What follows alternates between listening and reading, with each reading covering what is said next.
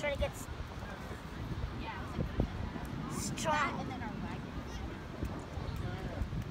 Hammer it down. Don't take it up yet.